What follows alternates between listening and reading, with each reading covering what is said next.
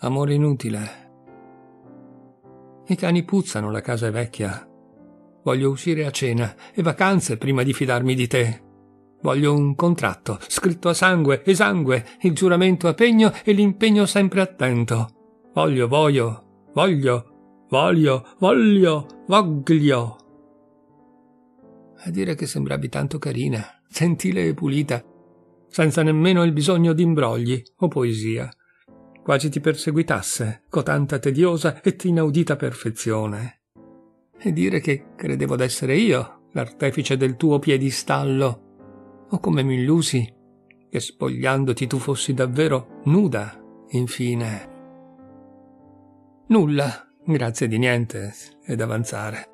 Nello squallore che rinnega lo specchio, nel ridicolo lamento della pancia, ti lascerò l'osso, senza nemmeno ringhiare se davvero come dici era un ladro maledetto, buono a nulla, fallito, alienato, se non depresso. Sulla tua lista dei colpevoli forse sarò secondo solo all'America ed io. Chissà. Certo, lascia l'amaro in bocca questa gente moderna, che ama di sabato solo al buio e dentro un letto. Il paradosso è che io non sia sorpreso né deluso, pur dopo aver puntato tutta la vita ancora una volta ma mi deprime constatare la solitudine che so a memoria, mentre gli amici ad uno ad uno scappano, ed io dovrei risolvere problemi che mi sorpassano e circondano.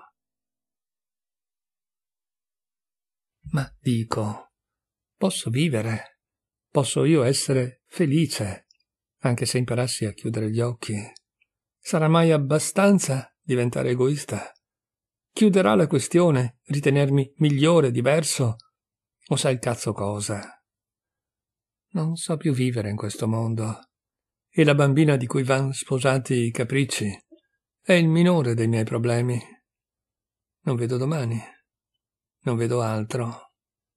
Come può avere senso un'esistenza nel nulla? Ne posso chiamarla vita se l'amore è elemosina grama? Forse la triste verità è che io sono già morto, come il mio pensiero e la mia morale. Forse la morte avrebbe fatto bene, quando ne ha avuto occasione, a prendermi e portarmi via da questo inferno. Boh, boh, che palle.